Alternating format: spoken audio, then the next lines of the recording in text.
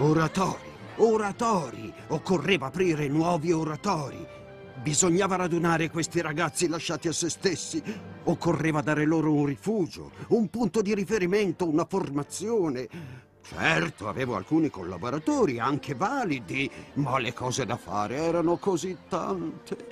Leonardo era un vero amico, sempre pronto a confrontarsi su questi problemi. Per far del bene bisogna essere amato. Dirò meglio, ben visto. E ciò che fa amare e ben vedere è la dolcezza. Essere affabile, indirizzare la parola singolarmente. Domandiamo a Dio la dolcezza.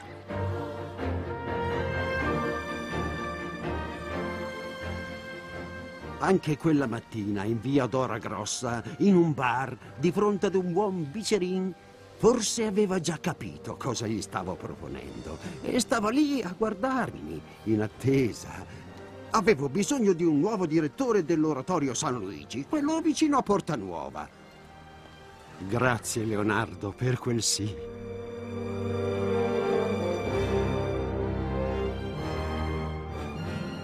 Grazie Leonardo per aver creduto tanto nell'oratorio, per la tua presenza in mezzo ai ragazzi, mite ed autorevole nello stesso tempo, per quella tua voglia di fare sempre meglio, di migliorare i metodi educativi, di confrontarti, tanto da guardare oltre i confini.